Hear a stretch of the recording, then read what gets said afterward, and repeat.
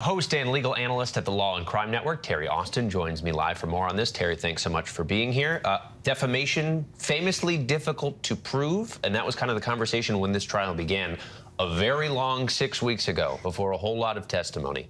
You say you were not surprised by their conclusion here. Why is that? I think there's no other conclusion. All of the evidence that went in showed that Amber was lying. She had pictures that didn't really show any evidence if he had really been hitting her, punching her, kicking her the way she said. He wore rings all the time. She would really have damages on her body, and we didn't see any of that. So I think the evidence she's talking about didn't amount to any sort of battery. And so she lost her claim. The jury simply did not believe her. I mean, there's a way to look at this on paper legally as saying they were both right. They both won their defamation case. But this is clearly a win for Johnny Depp, right? Absolutely. He won all of his defamation claims. And that's what he said was important to him to make sure that no one really believes that he is an abuser. And that was what the jury said. You did not abuse her. You didn't do all these things. You didn't sexually assault her. And that's what the message was that you've vindicated yourself.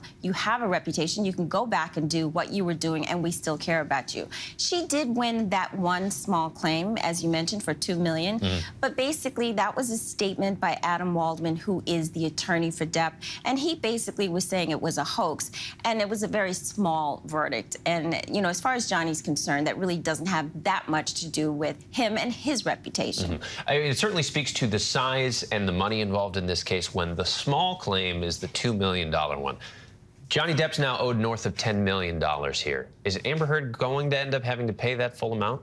well, she will be responsible for paying that full amount. And if they have to go after her wages, they will do so. If they have to pay it in installments, they can do that as well. I thought it was interesting that when the verdict form first came back, they didn't have an amount for compensatory and punitive damages. Mm. The jury actually forgot to put that in, and the judge had to instruct them, look, you found defamation, you have to go back and fill it in. So the amounts they came back with, 10 million for him, and then the 5 million punitive, which was reduced to 350 mm -hmm. because of the statute, and then the 2 million for her. I think those are numbers they thought out of their head.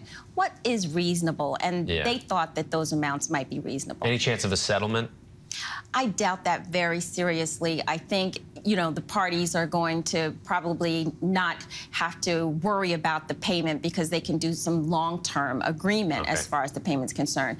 But I think out of principle, Johnny should make her pay. I mean, he doesn't have to really pay because he really got the larger award, obviously, the 10 million, and she owes him two.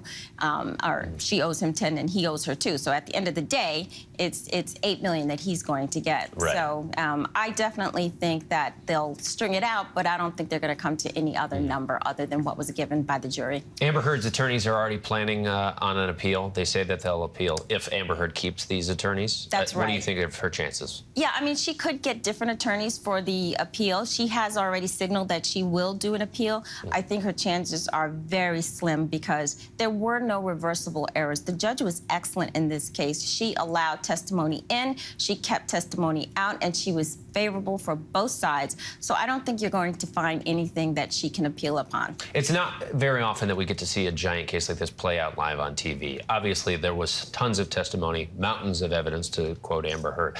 Do you think there was a key moment that maybe turned the tides here, or was it just overwhelming evidence overall? I, I, think both. I think it was overwhelming, but there were a couple of moments that Amber, when she was on the stand, I think the jury had to take notice of that. And we really didn't make a big deal of it. One of it was when she said, oh, well, the reason I wrote that article was because Johnny Depp is so powerful the whole point was you said that wasn't about him. Mm -hmm. So I think that was a pivotal moment in the trial. Okay, Terri Austin, we appreciate your time and your expertise. Thanks so much for coming in today. Thanks, Trevor.